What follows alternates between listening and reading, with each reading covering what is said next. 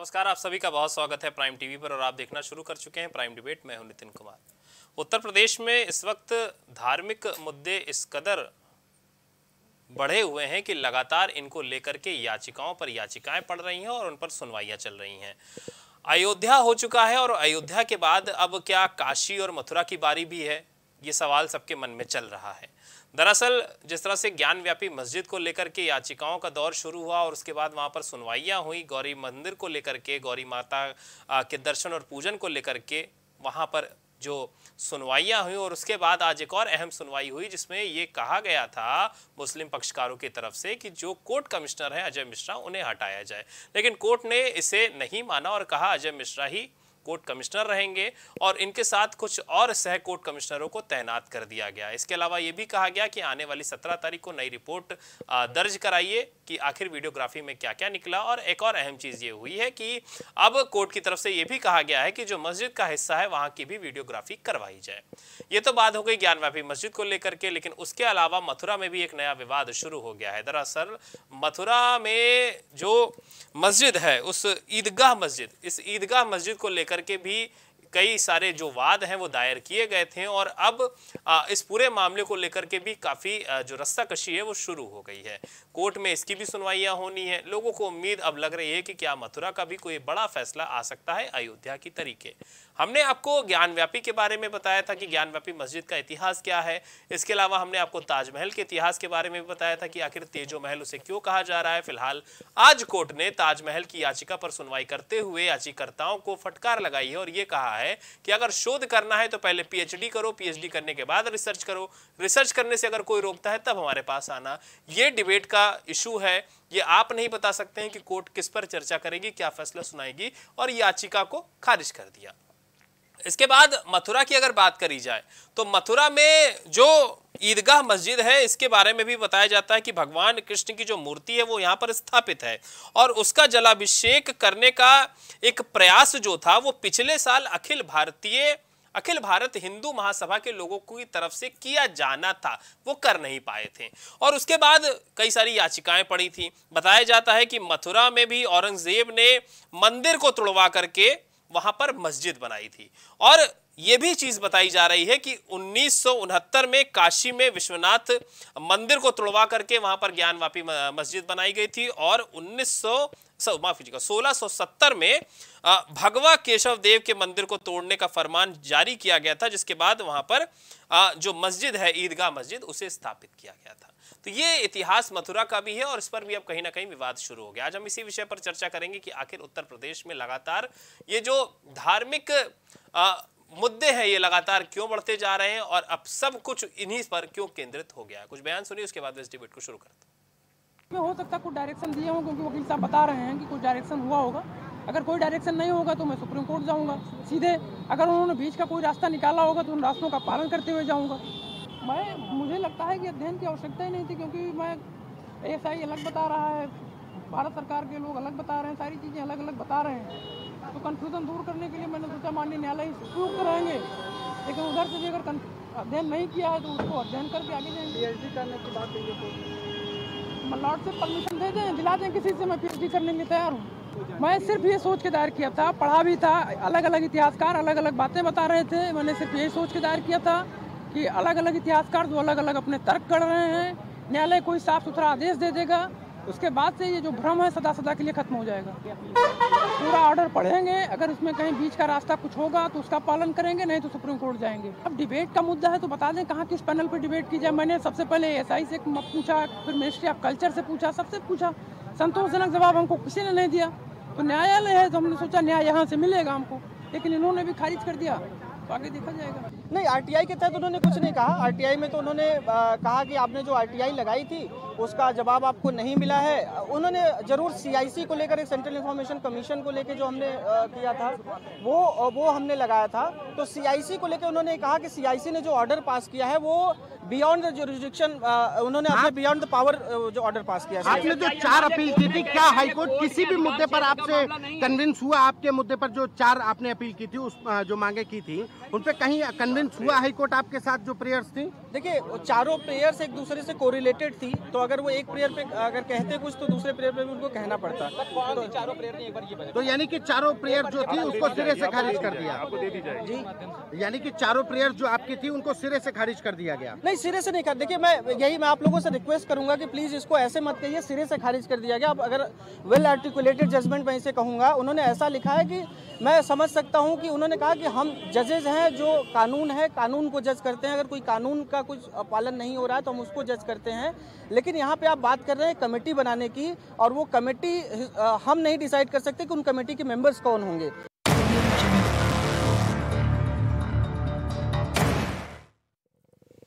इस मुद्दे पर चर्चा करने के लिए हमारे साथ जो मेहमान है, वो जुड़ चुके हैं। रामनिवास यादव जी हमारे साथ बीजेपी से हैं। जावेद अहमद हमारे साथ समाजवादी पार्टी से हैं। अकील खान साहब हमारे साथ मोमिन समाज के प्रवक्ता हैं और अभिषेक मिश्रा जी हमारे साथ सीनियर एडवोकेट हैं। इसके अलावा उमाशंकर मिश्रा धर्मगुरु के रूप में आपसे थोड़ी देर में हमसे जुड़ेंगे। आप सभी मेहमानों का आज की डिबेट में बहुत बहुत स्वागत है। अकील खान साहब सबसे पहले मैं आपके पास आना चाहूँगा। एक के बाद एक आप लोगों को कहीं ना कहीं शिकस्त मिल रही है, कहा जाए ऐसा। क्योंकि कोर्ट ने आज जो ताज के मामले पर पीआईएल दाखिल हुई थी, उस पर याचिकर्ताओं को काफ़ी फटकार लगाई और याचिका को खारिज कर दिया। इसके अलावा आप लोगों ने ज्ञान व्यापी मस्जिद को लेकर के जिस तरह से याचिका पड़ी हुई थी उस पर भी कहीं ना कहीं कोर्ट ने नाराज़गी जताई और ये कहा कि कोर्ट कमिश्नर नहीं बदले जाएँगे जो कोर्ट कमिश्नर है वही रहेंगे। क्या कहना है? देखिए सबसे पहले नितिन भाई बड़ी ज़िम्मेदारी के साथ जी। आपके चैनल में बैठकर कहूँगा जी। कि जिस तरीके से बाबरी मस्जिद अयोध्या से शुरू हुआ प्रकरण। और उसी समय से कुछ लोग इस चीज़ को कह रहे थे अयोध्या ले ली है और काशी और मथुरा की अब बारी है।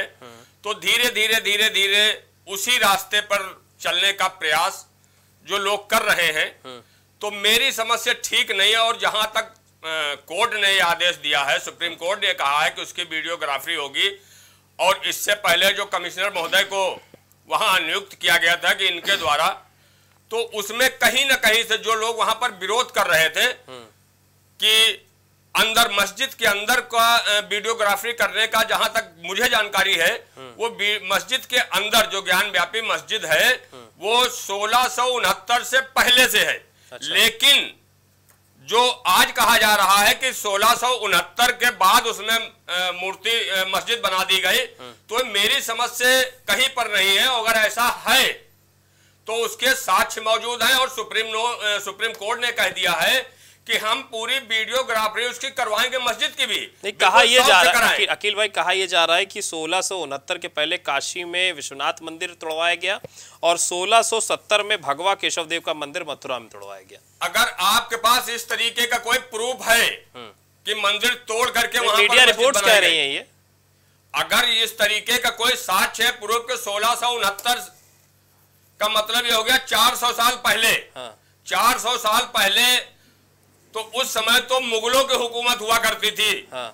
और मुगलों ने जो किया तो आज अगर हम उसके कारनामे भुगत रहे हैं हाँ। तो सिर्फ़ हमको मुगलों की देन है। अच्छा। क्योंकि हिंदुस्तान का मुसलमान बहुत ईमानदारी से जो हिंदुस्तान में भाई आए तो वहाँ पर किसी के हम बुलाने से नहीं। लेकिन जिन लोगों ने हमारे साथ चालबाजी की धोखेबाजी की उसकी आज हम उसके जो है उसका इल्ज़ाम भुगत रहे हैं। लेकिन जहाँ तक मंदिर की बात है।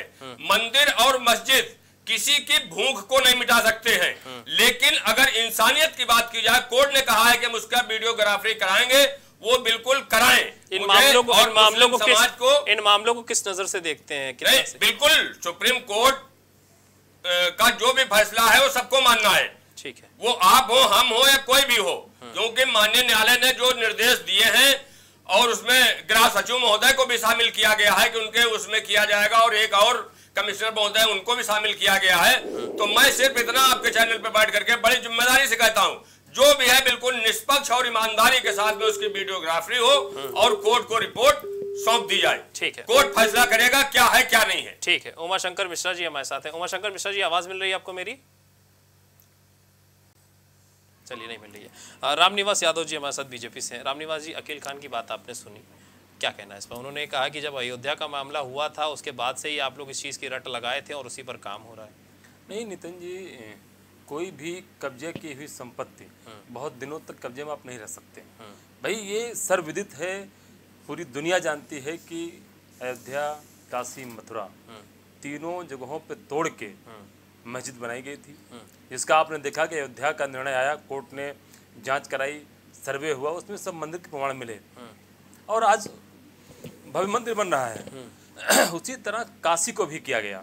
जिस तरह से औरंगज़ेब आताई था मुझे तो दुख होता है इस बात का कि मुस्लिम समाज के मेरे भाई कुछ लोग औरंगज़ेब को अपना जो है आदर्श मानते हैं। जबकि वो लाखों हिंदुओं का हत्यारा है और उसी की वजह पूरे देश में मतलब फसाद हो, हो हो रहे थे। और आज भी उसी की जड़ बनी हुई है। नहीं तो अकील खान कहते हैं कि उन लोग की गलतियों की सजा नहीं वो निश्चित रूप से अगर हम किसी को अपना पूर्वज मानते हैं अगर वो गलती किया होगा सजा तो हमको भुगतनी पड़ेगी। और ये सर्वविदित है कि करोड़ों हिंदुओं हम्म। की आस्था है काशी में मथुरा में। मथुरा में जिस तरह से प्रभु श्री कृष्ण के मंदिर को तोड़ करके मस्जिद बनाई गई तो ये आताइयों काम था। और मैं अकील भाई से कहना चाहूँगा ऐसे आताइयों जिन्होंने काम किया है उनका अनुसरण मत करिए। उनका उनको संरक्षण देने की बात मत करिए और हँसी खुशी से आप सबको छोड़ देना चाहिए क्योंकि करोड़ों हिंदुओं का आस्था है और सबको पता है कि ये तोड़ करके बनाया गया है। अगर आज हिंदू समाज की आस्था के अनुरूप अगर न्यायालय ने आदेश किया है तो हम सबको उसका सम्मान करना चाहिए और इस बात का प्रयास करना चाहिए कि बिना किसी विवाद के जो जिसका उसको मिल जाए और उनकी अपनी आस्था भी बने रहे और देश में हिंदू मुस्लिम की जो एकता की भावना है वो भी बनी रहे। लेकिन दुर्भाग्य है कुछ मेरे साथी बंधु हैं वो मानने को तैयार नहीं। ठीक है ठीक है सर मैं आता हूँ। जावेद अहमद हमारे साथ समाजवादी पार्टी से जावेद भाई एकाएक कई सारे मुद्दे उठ गए हैं पहले ज्ञान व्यापी को लेकर के फिर ताजमहल को लेकर के अब मथुरा को लेकर के। क्या कहना है इस पर आपका? देखिए अभी जी। भाई रामनिवास जी ने कुछ धमकाई किया उन्होंने कहा प्यार मोहब्बत से दे दो हमें क्यों नहीं दे रहे? प्यार मोहब्बत की बात कहाँ है? तो धमकी हो गई सीधे। मैं किसी बहुत विवादित मामलों में भी मैं बहुत निष्पक्ष रहता हूँ ये मेरी आदत है। जी। आप मुद्दे उठाइए। आप तीन की बात थी कि तीन हज़ार की हुई। आज एक मैं दोपहर में चैनल पे था दस का और मामला आ गया एक हमारे भाजपा के साथी ने चैनल पर कहा कि तीस हज़ार से अब ये पचास हज़ार। हम्म, रामनिवास जी पढ़े लिखे आदमी हैं सज्जन व्यक्ति हैं। हम्म, एक चीज़ बहुत साफ़ समझ लीजिए हम हमारा डीएनए भारतीय है। हम्म, हमारी पूजा पद्धत हमारी आस्था हमारा मज़हब अलग है। हम्म, हमारा उज्बेक औरंगज़ेब से कोई लेना देना नहीं है ना वो हमारा आदर्श है ना आइडियल है। ना हमारा बाबर आइडियल है। ना हमारा मुगलों से कोई लेना देना है। मुगलों से जिनका लेना देना था औरंगज़ेब से जिनका लेना देना था बाबर से जिनका लेना देना था वो लोग कौन हैं? उनके साथी इस भारत के अंदर कौन थे? औरंगज़ेब को बनारस या मथुरा किसने बुलाया था? किस काम के लिए बुलाया था? ये इतिहास का विषय हो सकता है बहस का विषय है विमर्श का विषय है। मैं तो एक बात कह रहा हूँ ये राजनीतिक रंग देकर इसको जगह जगह ट्रायल किया जाए मुकदमे पर मुकदमे डाले जाए। ताजमहल तो वक्त एक्ट के तहत नहीं है। अगर आपके सामने कोई समस्या है कोई दिक्कत है तो इसको जगह जगह हर जनपद की अदालत में और उसके बाद देशव्यापी स्तर पर इस तरीके का अगर काम किया जा रहा। मैंने कल भी कहा मैं लगातार कह रहा हूँ कि अदालत के निर्णय को सभी पक्षों को मानना चाहिए।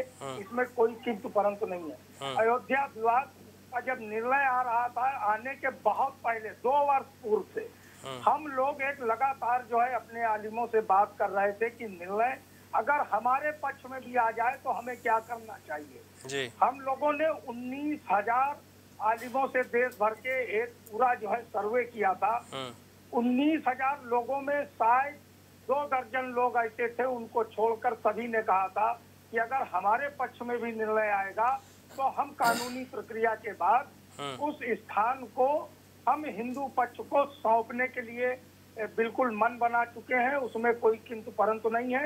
हम उस पर कोई दावा नहीं करेंगे निर्णय आ जाने के बाद। हम्म, आज देखिए अगर इसको अगर कानूनी तौर पर नितिन भाई देखा जाए जी। वक्त संसद के अधिनियम के तहत देश के अंदर सेंट्रल वक्फ काउंसिल है राज्यों में वक्फ बोर्ड है। अगर और उत्तर प्रदेश की हम विशेष कर बात कर रहे हैं उत्तर प्रदेश में इसी भारतीय जनता पार्टी की सरकार ने नौ सदस्य नामित किए हैं चेयरमैन अपना बनवाया। और दो सदस्य चुनकर आते हैं ये ग्यारह सदस्यीय वक्फ बोर्ड होता है। हम्म, अगर सरकार का काम होता है विसंगतियों को पेचीदगियों को का समाधान करना ना कि उसको उलझाना। राजनीति अपना जिस तरीके से काम कर रही है वो इस देश के लिए दुखद है। और लगातार ये प्रयास हो रहा है कि मुगल हो औरंगज़ेब हो बाबर हो रोहंगिया हो बांग्लादेशी हो उनके दुर्व्यवहार का उनके कारनामों का बदला हम भारतीय मुसलमानों से लेने का राजनीतिक रूप से लगातार प्रयास किया जा रहा है। इसको कौन सही मानेगा? मैं जो कहना चाह रहा हूँ कि वक्फ बोर्ड सरकार का एक निकाय है। हम्म, सरकार को चाहिए कि वो मीडिएटर बने। हम्म। मैं कह रहा हूँ बहुत स्पष्ट रूप से कि सरकार मीडिएटर बने और जहाँ जहाँ पर ध्वंस के निशान है चाहे वो पुरातत्व विभाग से उसका सर्वे करा लें या साक्ष्य पेश कर लें और वक्फ बोर्ड और जो वादी पक्ष है इसके बीच में सरकार बैठकर क्यों नहीं मामले को सुलझाना चाहती है? इसको गली गली गाँव गाँव घुमवा कर किस एजेंडे को पूरा करना चाहते हैं? वो जो एजेंडा है वो देश अब समझ रहा है हम भी समझ रहे हैं सभी लोग समझ रहे हैं। अच्छा, मतलब किसी एजेंडे के तहत ये किया जा रहा है, भाई। व्यवस्था से आप लड़ना नहीं चाहते मैं ये कह रहा हूँ, किसी एजेंडे के तहत जानबूझ के किया जा रहा है। चुना है। जानबूझ के किसी एजेंडे के तहत किया जा रहा है बीजेपी की तरफ़ देखिए नितिन भाई रामनिवास आप जी करवा रही हैं। आप क्या नहीं नहीं मैं रामनिवास जी पर कोई आरोप नहीं लगा सकता। ये एक वैचारिक संघर्ष है ये नागपुर बनाम हैदराबाद का। मैं बहुत साफ़ कह रहा हूँ। नागपुर हैदराबाद सहोदर भाई है। ये सावरकर का जो राष्ट्रवाद का सिद्धांत था उसको जिन्ना ने जो है समर्थन दिया था और आज हमारे देश हमारा देश दो खंडों में बचा। तो ये कितना दुखद था। हम लोगों को किस तरीके से आज प्रताड़ना झेलनी पड़ रही है मानसिक रूप से? किसी चैनल पर बैठते हैं पाँच लोग छह लोग होते हैं। अगर हम अकेले हैं तो सब के सब लोग हमको टारगेट करते हैं बहैसियत मुसलमान आखिर ये अपमान इतना उत्पीड़न कब तक किया जाएगा? आखिर कब तक खामोश रहे? अगर हम बहुत शांति के साथ सुनते हैं अगर हम अच्छी बात भी करना चाहते हैं तो कोई सुनने को तैयार नहीं है। तब अब तो आज एक टिप्पणी आई कि अरे अब तुम्हारी औकात क्या है? बाबा के बुलडोजर से डर गए। यहाँ तक अब मामला आ गया है। अगर इसी तरीके से करना है कीजिए, आपको किसने रोका? मैं तो कह रहा हूँ, वक्त बोर्ड सरकार का है। वक्त बोर्ड मस्जिदों का, मस्जिद पंजीकृत हो या न पंजीकृत हो, उसका केयर टेकर सिर्फ़ और सिर्फ़ और सिर्फ़ सुन्नी सेंट्रल वक्त बोर्ड है, उत्तर प्रदेश में जो सुन्नी मस्जिदें हैं। शिया मस्जिदों का care taker Shia Waqf board है। ठीक है। सरकार ने नामित किया है। ठीक है, आप जावेद क्यों। नहीं आप क्यों नहीं सरकार पर जो है मीडिएटर बनकर दोनों पक्षों के साथ ठीक। बैठकर इस मामले का निर्णय कर ले। ठीक है मैं आता हूँ आपके पास मैं आता हूँ आपके पास। अभिषेक मिश्रा हमारे साथ सीनियर अधिवक्ता हैं। अभिषेक जी लगातार इस तरह के जो मामले उठ रहे हैं और अभी जावेद भाई ने बहुत अहम बात की कि हम भी कर, अगर किसी और दूसरे चैनल में बैठ रहे हैं या लोगों के बीच में बैठ रहे हैं तो हम लोगों को टारगेट किया जा रहा है। कितना सही है ये? देखिए जावेद जी की बात कुछ हद तक तो सही है क्योंकि इस देश के अंदर आज की जो माहौल बनाया गया है या बन गया है। परिस्थितियाँ कोई भी रही हूँ मैं किसी के ऊपर व्यक्तिगत आरोप नहीं लगा रहा हूँ। लेकिन ये जो धार्मिक उन्माद फैला करके इस देश में जो एक सांप्रदायिक बंटवारा करने का जो एक तरीका बनाया जा रहा है जो ये परिस्थितियाँ हैं वो कुछ उसी रास्ते पर हमको आपको ले जा रही हैं। और मैं समझता हूँ कि इस देश के मुसलमानों की स्थिति तो बहुत ही खराब होती जा रही है। ये अगर आप इस देश के मुसलमानों की तीन पीढ़ी पहले चले जाएँगे तो मेरे ख्याल से ज़्यादातर मुसलमान तो हिंदू हैं। अगर आज की तारीख में जो भी मुसलमान हैं अगर उनकी तीन चार पीढ़ी पहले के उनके बाबा परदादाओं का आप नाम देखेंगे तो उसमें ज़्यादा से ज़्यादा आपको हिंदू मिलेंगे सत्तर परसेंट। और ये विदेशों में जब जाते हैं खासतौर से जब सऊदी अरब जाते हैं दुबई जाते हैं और जो उनके जो मुस्लिम देश हैं वहाँ पर इनको यही कहा जाता है कि ये तो भारतीय हिंदू ये कन्वर्टेड मुसलमान है ये तो ओरिजिनल मुसलमान है नहीं। और यहाँ पर आप इनको कहते हो कि ये मुसलमान तो बाबर की औलादे हैं तो हमारे है ही नहीं। है तो इनके साथ तो अजीब परिस्थितियाँ बनाते जा रहे हो ना इनको आप मानने को तैयार हो ना उनको वो से कौन बना रहा है। कौन? हमारा समाज हम आप लोग और कौन? भारतीयता की तो बात ही नहीं हो रही। है अब तो बात सिर्फ़ कौन हिंदू है कौन मुसलमान है? मुसलमान भारतीय है कि नहीं है? मुसलमान भारत के साथ रहे देशभक्त है कि नहीं? सवाल तो इन पर उठते हैं। मैं मेरी सिर्फ़ इस बात समझ में नहीं आती है कि भाई बानबे में एक बार एक परिस्थितियाँ उठी। एक विवाद चला और उस विवाद का क्या हस्र हुआ हमने आपने सबने देखा। और कब तक चला? कब से उठा? कब से लेकर के चलता चलता चलता बानवे में कितना विध्वंसक हुआ और उसके बाद जाके 2019 में जाकर के वो अंतोगत्वा फाइनल हो गया। तब तक किसी को समस्या नहीं हुई और दूसरी चीज़ों को लेकर के। उन्नीस सौ इक्यानवे में कानून भी बन गया संसद से पास भी हो गया कि उन्नीस प्लेसेज ऑफ़ वर्शिप एक्ट बनाया गया। जिसमें यह कहा गया कि 15 अगस्त उन्नीस तक इस देश के अंदर जो भी धार्मिक संस्था जिस भी स्थिति में है वो मंदिर है वो मस्जिद है वो चर्च है गिरजाघर है जो कुछ भी है वो अब उसी परिस्थिति में बनी रहेगी उसको दूसरा रूप नहीं दिया जाएगा। तो अब प्लेसेस ऑफ़ संसद ने बनाया है। इसके बाद आज की तारीख में सरकार पूरी तरह से बहुमत में है। ये कानून आज भी एग्जिस्ट कर रहा है इसको आपने समाप्त नहीं किया है इस कानून की वैधता को भी इसकी चुनौती भी सुप्रीम कोर्ट में पेंडिंग है अभी इसको चैलेंज किया गया है वायरस डिक्लेरेशन कराने डिक्लेयर कराने के लिए। वो अभी डिक्लेयर हुआ नहीं है। आज की तारीख में ये कानून है। इसके अलावा आप संसद में हो पूरी तरीके से आपका जो एजेंडा रहा है जो भारतीय जनता पार्टी का एजेंडा रहा है जो हिंदूवादी विचारधारा के आधार पर आप सत्ता पर आए हैं और जिस तरह से आपकी कार्यशैली है या जो आप अपने को हिंदूवादी विचारधारा की बात कहते हैं तो अगर आप संसद में हैं आप पूरी तरीके से मेजोरिटी में आप ले आइए कानून। आप कह दीजिए कि साहब जहाँ जहाँ मस्जिद मंदिर तोड़ के मस्जिद बनाएँगे सब मंदिर बना देंगे। आप एक दिन दो दिन महीने दो महीने साल दो साल पाँच साल में जो निपटारा करना कर दीजिए। लेकिन कब तक ये कराते रहेंगे? कब तक? बानवे खत्म हो गया 2019 में फाइनली डिस्क्लोजर हो गया, अब मुद्दे खत्म हो गए तो अब नया शुरू हो गया कि नहीं भाई वाराणसी? क्यों सर, क्या बानवे में जब आप जो है, अयोध्या का मुद्दा चला रहे थे, तब नहीं पता था कि वाराणसी भी है? तब आपको नहीं पता था कि मथुरा भी है? अब आज जब सब कुछ शांत हो गया, सारा मुद्दा खत्म हो गया, ये तय हो गया कि ठीक है भाई राम जन्मभूमि आपकी आप ले लीजिए। मस्जिद इनकी है, यहाँ पाँच एकड़ ज़मीन इनको दी जा रही है, यहाँ पर ये अपनी मस्जिद बना ले। तो अब आपको ये जब वहाँ खत्म हो गया, कोई बात नहीं रहेगी तो आपको दूसरा कानूनी रास्ता याद आ गया। ये ये कब तक आप चलाते रहेंगे? और भी मुद्दे हैं इस देश के अंदर। प्लस आप जो बात कहते हैं कि आतंक आई वो बाबर आया औरंगज़ेब आया ये आया। भाई किसी ने बुलाया था क्या? हमने बुलाया था उनको क्या किए? इस देश में तब सख्त परत कानून था जिसकी तलवार में ताकत थी जो युद्ध करके जीत पाया वो रहा। और जिसने अपनी मर्ज़ी से जो कानून चलाया वो चला। उस समय जो सत्ता में रहा। जिसकी भी शासन सत्ता रही युद्ध हुआ युद्ध में पराजित हुए आप आप हारे अगला जीता। और उसने अपने हिसाब से अपना कानून बना दिया। अब उसके बाद जब इस देश के अंदर सैतालीस, उन्नीस के बाद एक संवैधानिक व्यवस्था आई और एक कोडिफाइड लॉ आ गया और उस उस समय तक आपने उसको स्वीकार किया। और उसके बाद इस देश के अंदर जिन मुसलमानों, भाई मुसलमान को तो एक ऑप्शन दिया गया था कि आप पाकिस्तान चले जाइए। बावजूद उसके बहुत से लोग ऐसे जिन्होंने कहा, नहीं, हम हिंदुस्तान के हैं, हिंदुस्तान में रहेंगे। तो जो मुसलमान यहाँ हैं या जो है आज वो इस देश के नागरिक है इस देश की संवैधानिक व्यवस्था के नागरिक है जिस तरह से आपकी धार्मिक भावना है धार्मिक भावना उनकी भी है। समस्या यह है कि अगर गैर मुस्लिम कोई ये बात करता है तो वो राष्ट्रद्रोही हो जाता है वो हिंदू विरोधी हो जाता है और आजकल तो सेकुलरिज्म नाम की एक गाली उसको दी गई है कि ये सेकुलरिस्ट है। अगर वो बात बराबरी की बात करने लग जाए तो सेकुलरिस्ट हो जाता है। लेकिन ये कब तक चलेगा कि बाबर ने किया था इसलिए हम लेंगे? कल को फिर कोई दूसरी दूसरा संप्रदाय शक्ति में आएगा ताकत में आएगा तो कहेगा तुमने लिया था इसलिए हम लेंगे। तो यही होता रहेगा हमारे बच्चे आगे इस दर्द को झेलेंगे। आज आप कर रहे हैं कल वो करेंगे। ठीक है ठीक है ठीक है ठीक है। उमाशंकर मिश्रा हमारे साथ हैं हिंदू धर्मगुरु उमाशंकर जी आवाज़ मिल रही है आपको मेरी?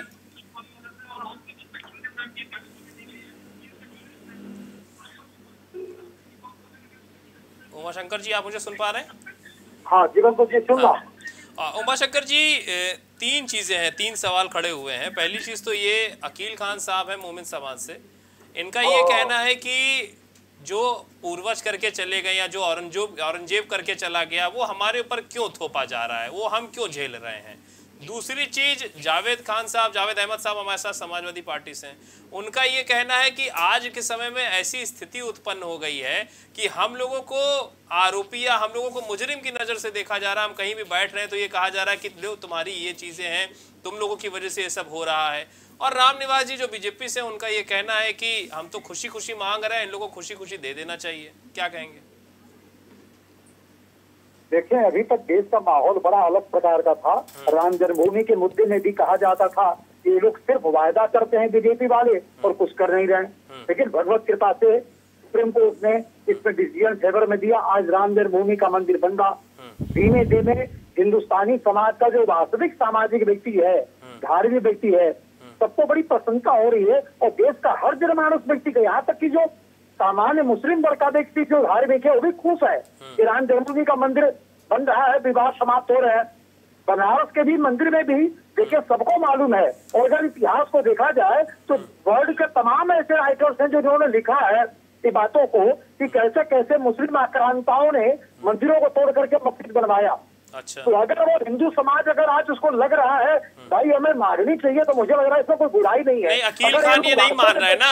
अकील खान ये मान ही नहीं रहे कि तोड़ के बनवाया अगर गया। अगर ये लोग देखिए हम इनको कुछ कहना तो नहीं चाहेंगे लेकिन अगर वास्तव में इनके प्रति देश के प्रति प्रेम है हिंदुस्तान के प्रति प्रेम है हिंदू समाज से इनको प्रेम है जिस देश में रोटी खा रहे हैं उस देश से प्रेम है इनको खुद आगे बढ़कर कहना चाहिए भैया अगर साबित हो रहा है तो आप ले लीजिए हम आपको सहयोग करेंगे।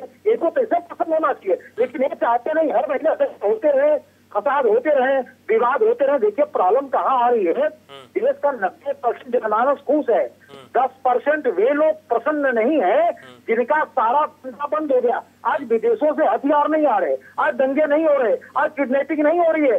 प्रॉब्लम नहीं आ रही है। इनका ये मैटर नहीं है। मंदिर का मैटर तो हज़ारों साल के इतिहास में वक्त के सैकड़ों राइटर्स ने लिखे हैं कि वहाँ पर मस्जिद ज़बरदस्ती बनाया गया। ज़बरदस्ती तोड़ा गया है मंदिर को आज सबसे बड़ी बात क्या है? बीजेपी नहीं कर रही है। ये तो सुप्रीम कोर्ट हाई कोर्ट का डिसीज़न है। आपको मानना ही पड़ेगा। आज माने कल मानेंगे और सबूत इतना ज़्यादा है उसके अंदर। अरे खुदाई होने ना होने दें। आप देखकर ताजुब कर जाएँगे। इतने सबूत हैं। नब्बे परसेंट सबूत। वहाँ मस्जिद का कोई चिन्ह ही नहीं है उसके अंदर। प्राचीन वातावरण का कोई चिन्ह ही नहीं है। आप उससे तो करने दें। ये तो दंगे फसाद के माहौल से ये लोग करने नहीं दे रहे। लेकिन सुप्रीम कोर्ट से बेलेट होगा और करेगा तो करना ही पड़ेगा और आप पूरा देखेंगे पूरी दुनिया देखेगी जैसे राम जन्मभूमि का मैटर साबित हुआ वैसे ये भी साबित होगा कि वो भी हिंदू मंदिर पहले था। ठीक है ठीक है मैं आता हूँ। अकील खान सुना आपने? उमाशंकर मिश्रा जी को भी रामनिवास यादव जी को भी। क्या कहना? देखिए ये उमाशंकर जी हमारे बहुत परम मित्र हैं। हाँ। लेकिन तो प्यार से आज हो है, कुछ दे दीजिए। आज कुछ अल्फाजों में तल्ख टिप्पणी है। क्योंकि चाहे वो हिंदुत्व का एजेंडा ले आए और चाहे हम मुस्लिम का एजेंडा ले आए।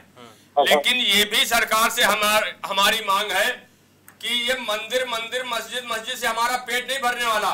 हमें तो शिक्षा की बात सरकार करे हमें रोज़गार की बात करे हमें अब मंदिर मस्जिद पे बहुत लड़ चुके हैं। क्योंकि अब मंदिर और मस्जिद से हमारा पेट नहीं भरने वाला। हमारे बच्चों को मस्जिद से और मंदिर से शिक्षा और तालीम नहीं हासिल होने वाली है। हमारे बच्चों का स्वास्थ्य मंदिर और मस्जिद से ठीक होने वाला नहीं है।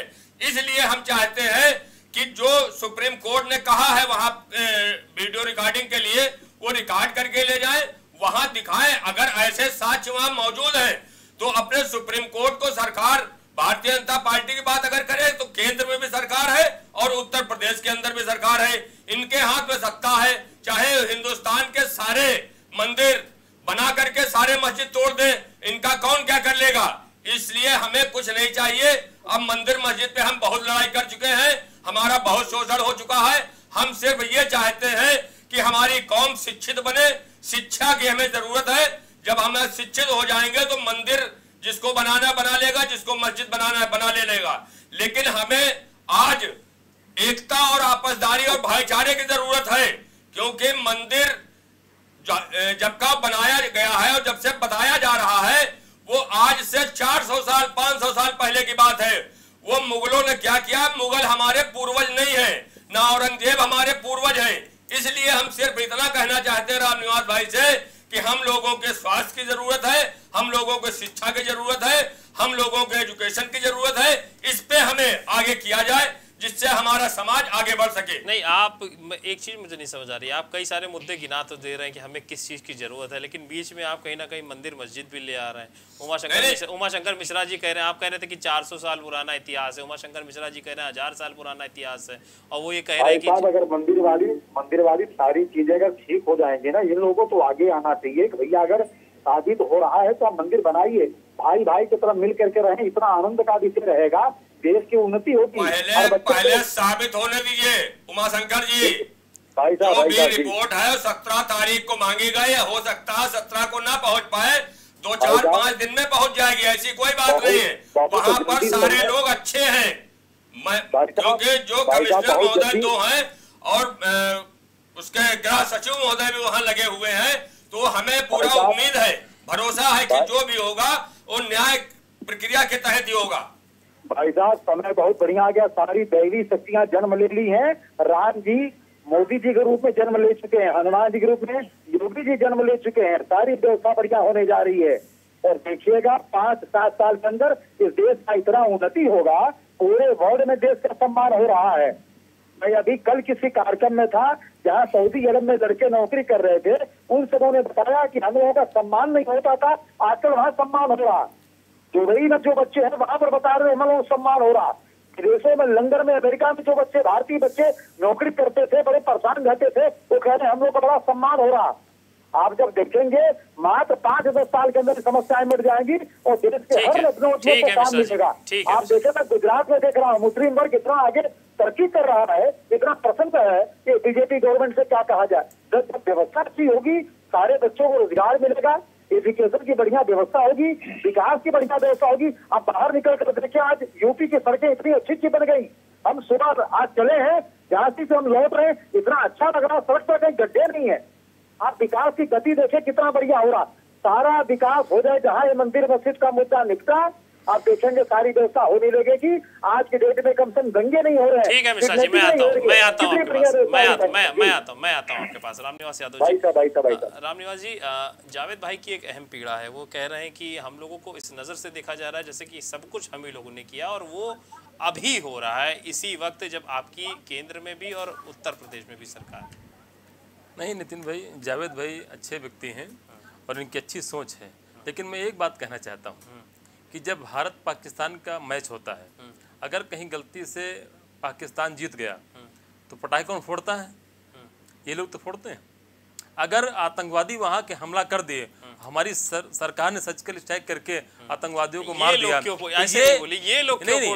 कुछ मैंने मैंने ये लोग नहीं। मैं आपको नहीं मैं बता रहा हूँ आप अच्छे व्यक्ति हैं। लेकिन जो कुछ लोग ऐसा करते हैं उनकी वजह पूरा समाज बदनाम होता है। इसीलिए आप सबकी हम सबकी ज़िम्मेदारी है कि अगर कोई गलती आगे हो गई है भाई जिस तरह से इतिहास है और सबको पता है जावेद भाई को भी पता है मोमिन भाई को सबको पता है कि मंदिर तोड़ के मस्जिद बनाई गई थी। आज जब हिंदू समाज के कुछ लोग मांग रहे हैं और पूरे हिंदू समाज की आस्था है करोड़ों हिंदू समाज के लोगों की इच्छा है कि वहाँ मतलब मंदिर था मंदिर रहे। मस्जिद का अस्तित्व नहीं था मस्जिद न रहे।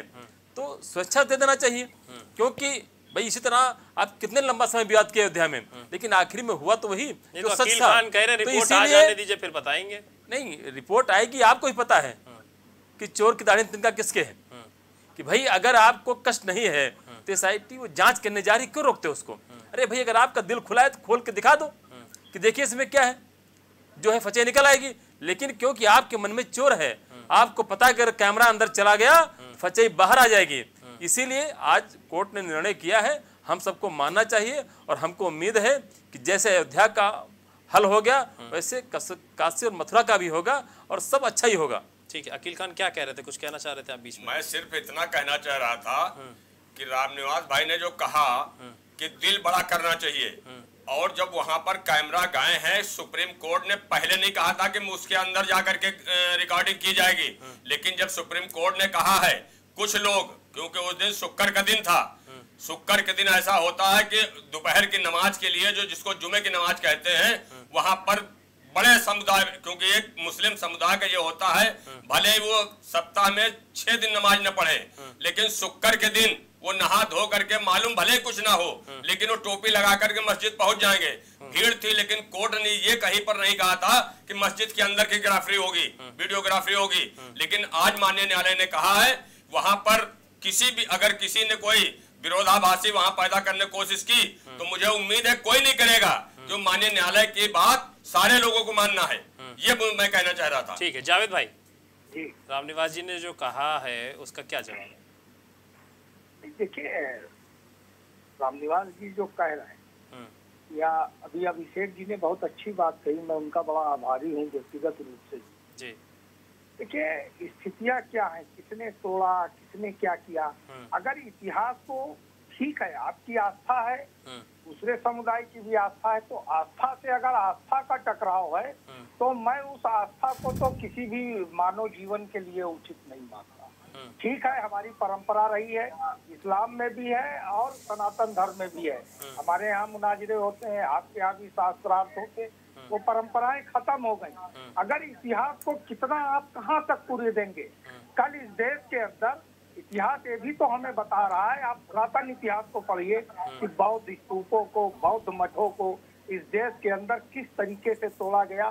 भारत से बना बौद्ध पंथ आज पूरी दुनिया में लहरा रहा है लेकिन भारत के अंदर उसका सत्यानाश हो गया। जो शांति का समता का ममता का संदेश देता था वो कहाँ है? मैं तो राम निवास जी से और उमाशंकर जी से कह रहा हूँ कि मैंने तो गाँव में हम लोग कथाएँ होती थी हम लोग भी बैठ जाते थे। पंडित जी क्या कहते थे अंत में? जब प्रार्थना कराते थे विश्व का कल्याण हो मानव का कल्याण हो। आज वसुधैव कुटुंबकम यही तो भारत की सभ्यता और संस्कृत का मूल है। यही तो सार है। आज न मानव कल्याण की बात है न विश्व के कल्याण की बात है। आज धर्म पंथ पूजा पद्धत के आधार पर नफरत का पूरा माहौल बना हुआ है। इसको हम हम ही जिम्मेदार हैं कि अकेले निपटाएँ। अभी राम निवास जी ने एक बात कही पाकिस्तान के मैच की यहाँ की आतंकवाद की। अरे आतंकवाद के साथ कौन खड़ा होगा? कौन खड़ा होगा जो लोग खड़े रहे हैं अगर उस उस पर अगर हम बात करेंगे तो ये डिबेट डाइवर्ट हो जाएगी कहीं पर। जी। समाज में अगर कोई विकृत मानसिकता का व्यक्ति है तो ये सच है कि वो सरकार की नहीं हमारी ज़िम्मेदारी है हमारा नैतिक कर्तव्य है कि हम इन लोगों का विरोध करें। लेकिन जब समाज का एक बड़ा तबका जब ऐसा कृत्य करने वालों का मुस्लिम समुदाय में विरोध करते हैं तो क्या स्थितियाँ उत्पन्न होती हैं? हमें प्रशासन का संरक्षण नहीं मिलता है। हम दो तरफ़ से, अभिषेक जी ने बहुत सही बात कही कि हम, अकील भाई भी जानते होंगे कि जब हम, हमारे परिवार के लोग हज के लिए या उमरा के लिए सऊदी जाते हैं तो जद्दा के एयरपोर्ट पर उतरते हुए हमें हिंदी कहा जाता है। हम, हमको हिंदी कहा जाता है उस पर हमें गर्व भी है। गर्व होता ही नहीं है, हमें गर्व है। लेकिन हम तो दो पार्टों के बीच में फंसाए जा चुके हैं कि औरंगज़ेब मुगलों का रोहिंग्याओं का बांग्लादेशियों का जिन्ना का सारा हिसाब किताब जावेद से वसूल लो अकील खान से वसूल लो या जो दूसरे लोग हैं। अब समता ममता की भावना किसमें रह गई है? हम किसी हिंदू के आँगन में आज जाने की हैसियत में नहीं है। जो बहनें दस साल पहले तक पहली राखी बांधने की होड़ हमसे हमारे परिवार में करती थी आज उनके बीच में संबंध है। लेकिन दूरियाँ कितनी बढ़ती चली जा रही हैं। जिस बहन का तिलक हमने चढ़ाया था भाई बन के, आज वो परिवार भी हमसे दूर है। तो ये पीड़ा ये दर्द किसने भोगा है? जो लोग धर्म को, राजनीति का और धंधे का, के रास्ते पर ले जा चुके हैं, उनको इसकी पीला नहीं है। वो कोई भी हो, हिंदू हो, मुसलमान हो, ईसाई हो, सिख हो, दर्द उसको होता है जिसके अंदर मानवता होती है। और मानव का स्वभाव जो है प्रकृति द्वारा अनुशासित भी होता है, कुदरत उसको नियंत्रित करती है। आज वो भाव, वो मूल, वो कहाँ है? इस्लाम का भी जो मूल मंत्र है, वो समता और ममता है। वो समता और ममता है, इसके अतिरिक्त तो कुछ नहीं है। इस्लाम ने कभी नहीं कहा, एक आयत कोई दिखा दे कि उसने दूसरे धर्म के विरुद्ध कोई ऐसी रणनीति की बात की हो, ऐसा अपमानजनक शब्द इस्तेमाल किया हो। यही इस्लाम ने, कुरान ने भी कहा कि आपका धर्म, आपको मुबारक, हमारा धर्म हमको। हमें क्या है खिदमत कल? मानव सेवा क्या है? इस पर तो ये देश बात आज करने को तैयार नहीं है। क्या इतने हम बिगड़ गए हैं कि आप उमा शंकर जी हमको अपने घर पे चाय नहीं पिला सकते, या हम उनको अपने घर आमंत्रित करके चाय नहीं पिला सकते? ये दुनिया आखिर इस देश को, इस देश के लोगों को कहाँ ले जाकर खड़ी करेंगी? अगर समाधान चाहिए तो मैं तो कह रहा हूँ कि जो संविधान सम्मत है, जो आपके साथ हुआ है, हमें उस पर गर्व नहीं है कि हम गर्व कर रहे हैं। हमें औरंगज़ेब से क्या मतलब है? मेरा रिश्ता तो हकीम सूर से है, जो महाराणा प्रताप के सेनापति थे। हमारा रिश्ता बेगम हज़रत महल से है, लेकिन वो लोग जो दावा करते हैं, वो बताएँ कि हल्दी घाटी से उनका क्या रिश्ता था, मान सिंह से उनका क्या रिश्ता था। जो लोग आज इस तरीके से इतिहास को विकृत करना चाहते हैं, हम तो ये बात कहते हैं कि जो नकारात्मक है, उसको त्याग दो। जो सकारात्मक है जो हमें मोहब्बत, भाईचारा पैदा कर सकती है, उसको अपना लो, आओ, गले मिलो। वक्त बोर्ड आपने बनाया है, संसद ने बनाया है। बात कीजिए, जो एएसआई के अधीन है, उससे बात कीजिए। आज ताजमहल से मुसलमानों का क्या रिश्ता है? क्या उसकी आमदनी हमारे घर आ रही है? अरे वो पुरातत्व विभाग के अधीन है वक्त वेस्ट में भी नहीं है। जिस बाबरी मस्जिद की बात की जाती थी जब अंतिम निर्णय कानूनी प्रक्रिया में ये सब लोग फंसे थे। अंतिम निर्णय आया क्या किसी ने कोई किंतु परंतु किया किसी ने विरोध किया।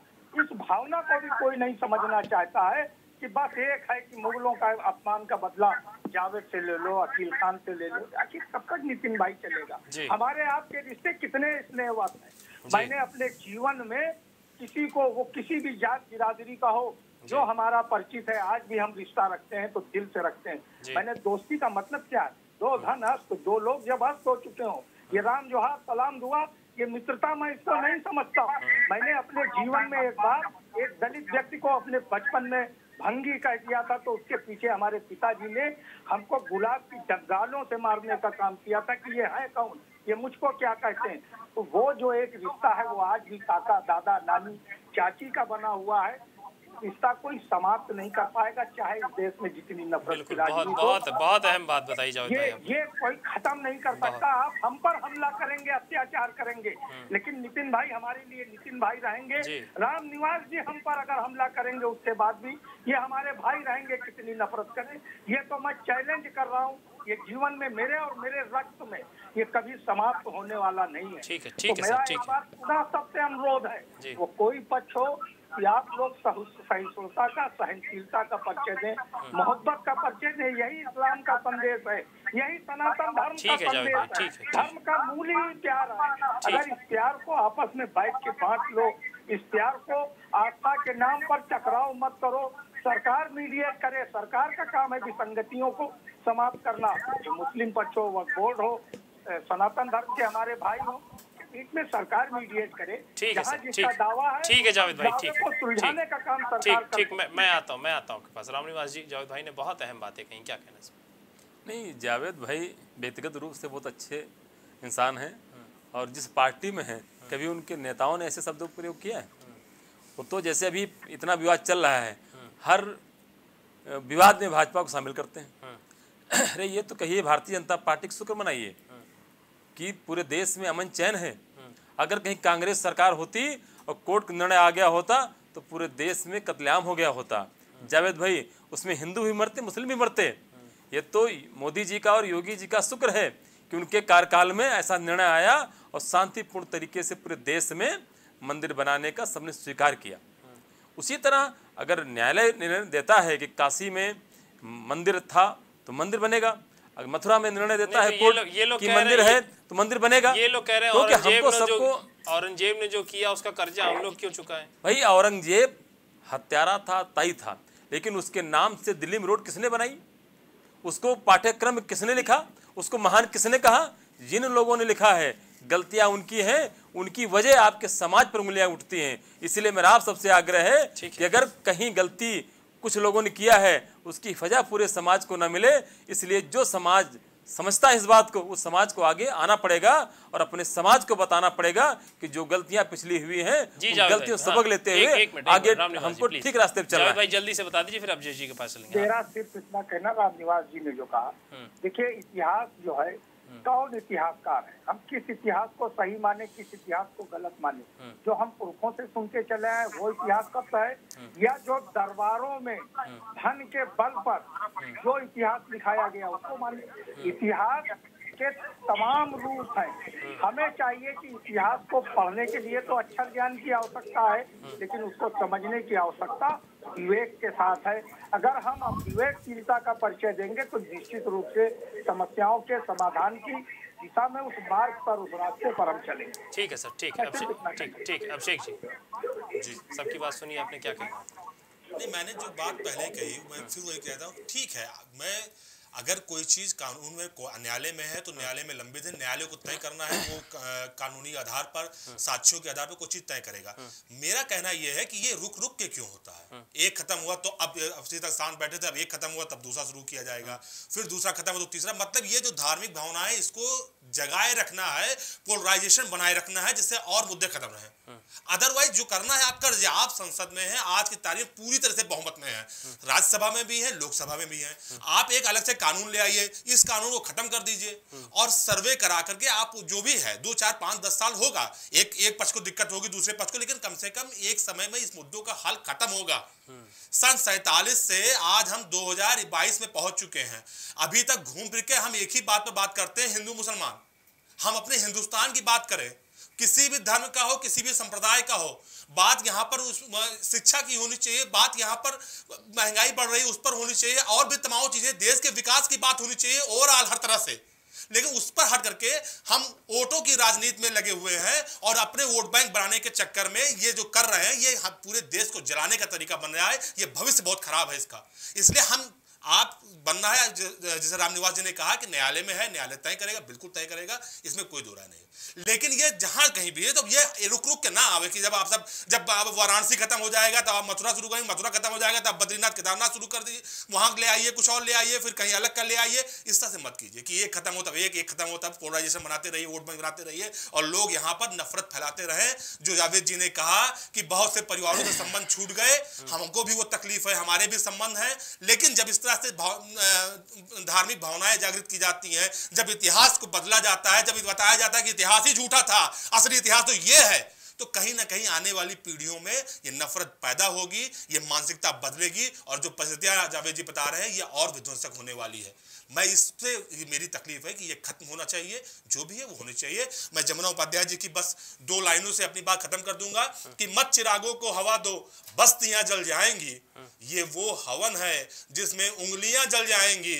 और आग चाहे राम की हो या बाबर की लग गई तो आयते चौपाइयाँ जल जाएँगी। आप इस दोनों को ध्यान रखिए और बात हिंदुस्तान की होनी चाहिए बात जो है हिंदू और मुसलमान की नहीं होनी चाहिए ठीक वैसे इतना ठीक ठीक है धन्यवाद आप सभी का इस डिबेट में जुड़ने के लिए और अपना अपना पक्ष रखने के लिए।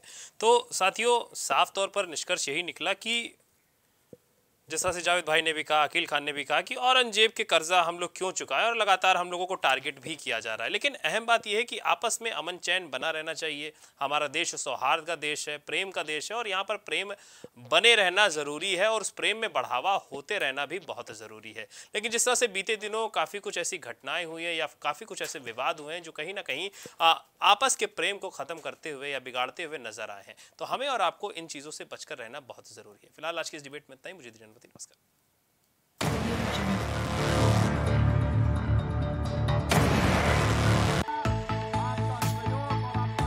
कुछ भाव पुष्प। आप देख रहे हैं प्राइम टीवी सच साहस सरोकार।